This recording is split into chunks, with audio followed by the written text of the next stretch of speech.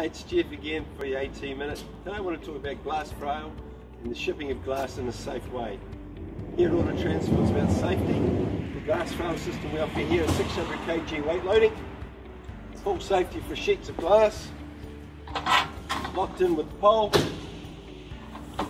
lock back and use the bump to tighten up against the glass for transportation. We also do a lightweight one at 300 kilograms.